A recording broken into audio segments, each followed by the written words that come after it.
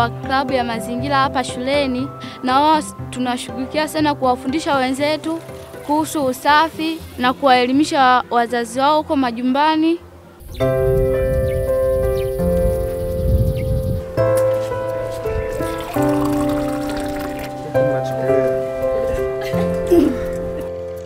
Tulikuwa tunakwenda kuchota maji kwenye visima, kwenye mradi.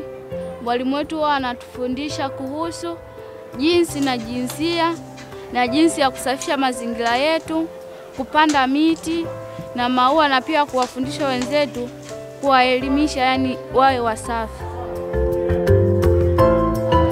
Akisha soma tayari anajiwekea hazina mbele mbele yake, yani katika maisha yake.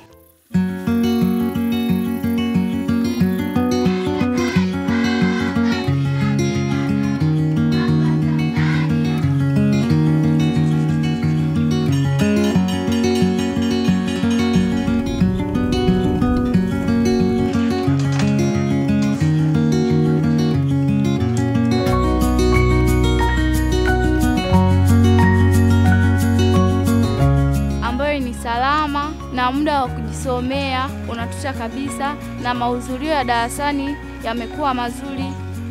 Thank you. Thank you. Asante sana.